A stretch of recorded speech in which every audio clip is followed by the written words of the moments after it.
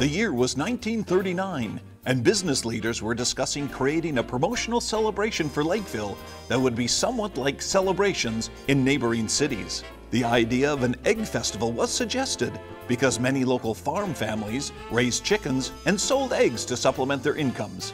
With input from citizens and business leaders, the statewide Egg Festival was born in Lakeville. The celebration was held in 1940 and 41, with commemorative buttons being sold for a dollar. Festival features included a parade with several floats from the Minneapolis Aquatennial Parade, a raw egg throwing and eating contest, a Queen of the Egg Festival competition that featured several local contestants, and a visit by then Governor Harold Stassen, who made an appearance that was covered by several local newspapers. Despite the fact that the event drew thousands to the city, the festival was only held for two years, with the onset of World War II being the main reason which brought an end to Lakeville's Egg Festival.